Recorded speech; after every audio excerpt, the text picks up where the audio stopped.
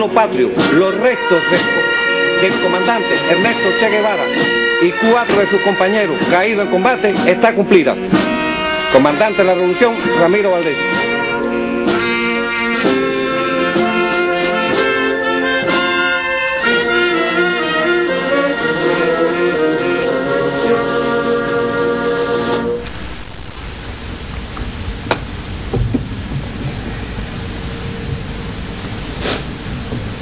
Querido comandante, hace más de 30 años nuestros padres se despidieron de nosotros.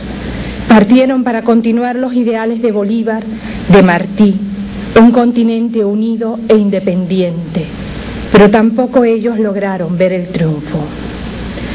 Estaban conscientes de que los grandes sueños solo se hacen realidad con inmensos sacrificios. No volvimos a verlos. En esa época la mayoría de nosotros éramos muy pequeños. Ahora somos hombres y mujeres y vimos, vivimos, quizás por primera vez, momentos de mucho dolor, de intensa pena. Conocemos cómo ocurrieron los hechos y sufrimos por ello.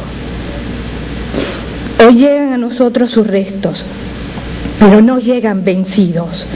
Vienen convertidos en héroes, eternamente jóvenes, valientes, fuertes, audaces. Nadie puede quitarnos eso. Siempre estarán vivos junto a sus hijos, en su pueblo. Ellos sabían que cuando lo decidieran podrían regresar a la patria y que nuestro pueblo lo recibiría con amor y curaría sus heridas. Y sabían que usted seguiría siendo su amigo, su jefe.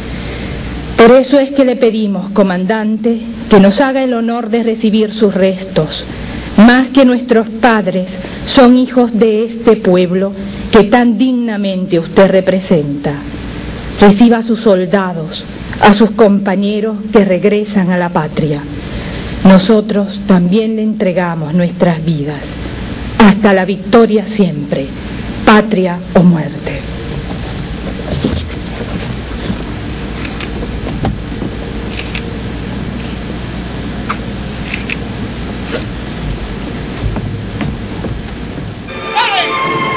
Estás en todas partes, en el indio hecho de sueño y cobre, y en el negro revuelto en espumosa muchedumbre, y en el ser petrolero y salitrero, y en el terrible desamparo de la banana, y en la gran pampa de las pieles, y en el azúcar, y en la sal, y en los capetos, tú, móvil estatua de tu sangre, como te derribaron, vivo como no te querían, qué comandante, amigo. Cuba te sabe de memoria, rostro de barbas que clarean y marfil de aceituna en la piel de tanto joven. Firme la voz que ordena sin mandar, que manda compañera, ordena amiga, tierna y dura de jefe, camarada. Te vemos cada día ministro, cada día soldado, cada día gente llana y difícil, cada día y puro como un niño o como un hombre puro, que comandante, amigo. Pasas en tu descolorido, roto, agujereado traje de campaña, el de la selva como antes fue el de la tierra, semidesnudo el poderoso pecho de fusil y palabra, de ardiente vendaval y lenta rosa. No hay descanso Salud de Guevara, o mejor todavía, desde Londón americano, espéranos, partiremos contigo, queremos morir para vivir como tú has muerto, para vivir como tú vives.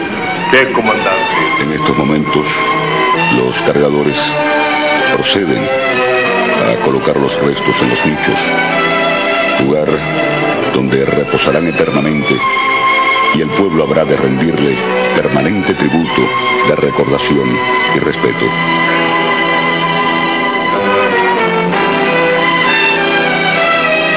La tierra que vio partir a sus valientes hijos para cumplir sus ideales altruistas, es desde ahora depositaria honrosa de sus preciados restos. Viene ahora a la memoria el vibrante poema escrito por el indio Naborí en ocasión del arribo a Cuba de los restos de los heroicos combatientes. Escribía el poeta. Tus restos no son restos, Che Guevara. Son las raíces de una idea pura que han de utilizar en Santa Clara la piedra que se honró con tu figura.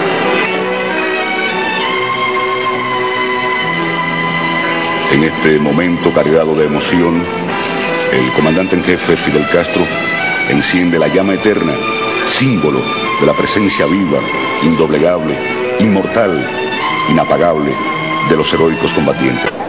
En honor a los compañeros caídos, presenten armas, corneta, toque silencio, batería, 21 salvas.